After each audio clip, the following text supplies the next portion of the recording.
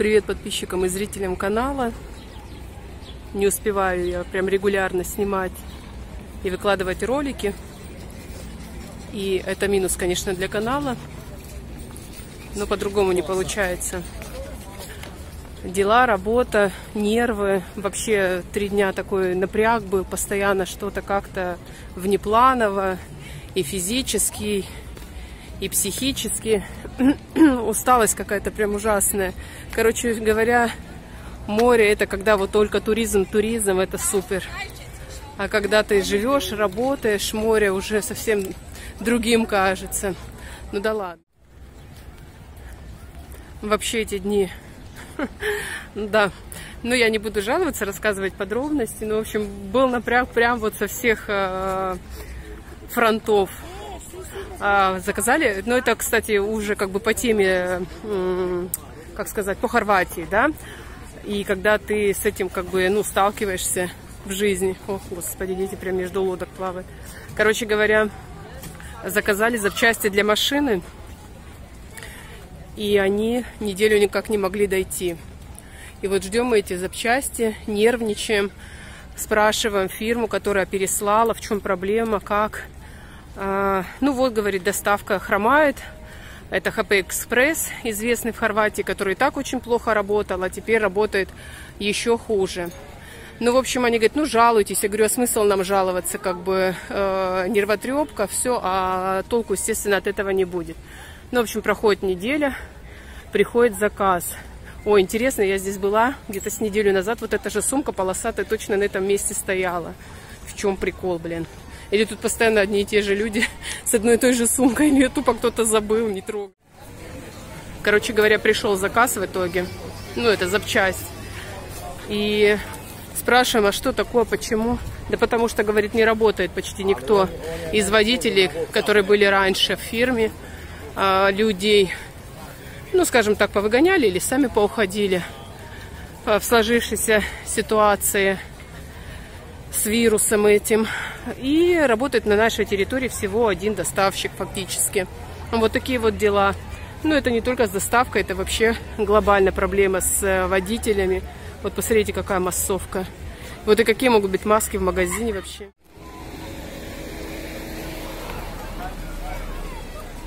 Да ну его, нафиг вот такое море, а.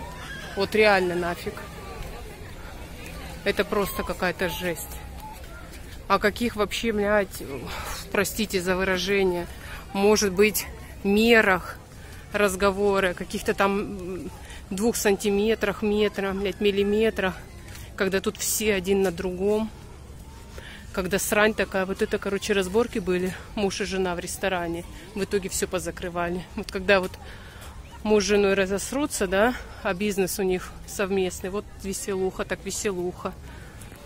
Короче говоря, ужасно, вот прям не прельщает. А я уже говорила, да, про минусы. Даже не то, что людей много, а то, что все эти люди испражнялись в этом море весь день. О, боже мой. Мы вас, конечно, ждем, дорогие туристы, но уф, рано утром или в следующем месяце, с числа с 15 оно наше. Невыносимо просто не пробиться. Кипит все, духота, вопли скачки через друг друга, это, конечно, не отдых. Сегодня поехали в магазин в город, в Триквеницу, в наш известный конзум. Ну, просто, знаете, по такой духоте и толпа, и народ. Э, неохота было в нескольких магазинах потом перебежки делать. Ну, поехали, думали, выбор будет хоть какой-то. В итоге... О, полицай. Хорошо, что их пропустила, а то взбили. Короче говоря, э, в итоге приезжаем в магазин, цены подняли, товар в ужасном состоянии. Все, что мы брали из овощей и фруктов, гнилое. Выбор маленький. Ну, это типа говорили, знаете, как, что якобы такой вот был сезон, такие проблемы, на полях люди не работали, будет много ввоза, бла-бла-бла-бла-бла. В итоге одно и то же, что как возили тоннами с одних и тех же мест, так и возят. Вот. И ужасного качества, конечно. Тех денег не стоит. Ну что, и здесь толпа, и здесь мешки мусора. Ну, не знаю. Как-то это все так отвратительно. Ой. Помните, вот этот пляжик я снимала с месяц назад, наверное. Тихо, дети рыбку ловили, играли.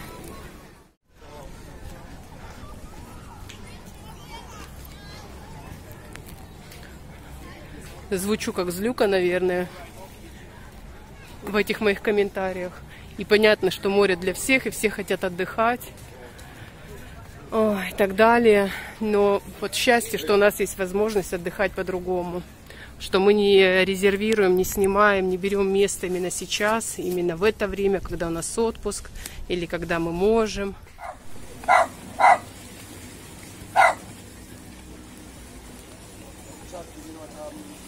Собака испугалась.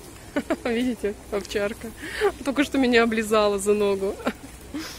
Хозяин такой поржал. Чего на меня облизывает? Прикиньте, вот тут вот люди, да? И собаки, и люди, и все подряд. Короче, люди ухищряются по-разному, чтобы место найти. То гамак между деревьев натянут, то прямо на дороге лежат бедные на бетоне, ну, чтобы тень найти. А Ой, что-то там с другой стороны собака какая-то тоже. И, короче, это... У, много, у многих, смотрю, штрафы на машинах уже стоят выписанные. Короче говоря, произошло несколько трагедий. В общем, тут на море.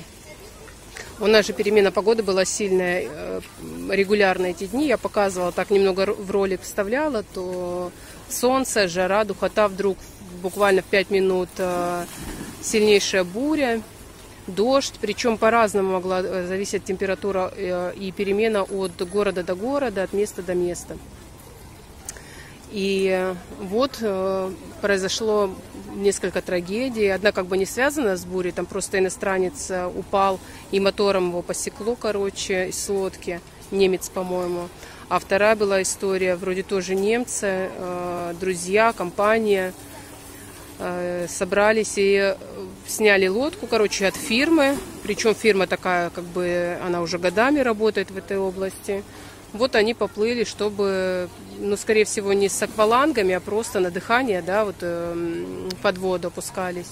И, короче говоря, резко изменилась погода, началась э, буря, волны, и все стали быстро выскакивать на лодку эту, на корабль, что там уже у них было. И, в общем, женщина молодая, 35 лет, она подскользнулась, прямо на глазах матери улетела в море. Ну, друзья как бы хотели помочь, но тут было несколько факторов. Во-первых, раскачивало, во-вторых, высокие волны. А, в-третьих, она сама испугалась, наглоталась, э, далеко как бы ее унесло. И, в общем, женщину не смогли спасти а фирмы, которые э, даже иску, ну, фирмы искусные в этой области, работающие годами, понимаете, им в интересах тоже сдать тур, тоже поработать. Прогноз смотрите всегда сами в Хорватии. Реально, если говорят, что может быть резкое изменение погоды, оно может быть действительно резким и действительно опасным. Я уже про несколько таких случаев рассказывала.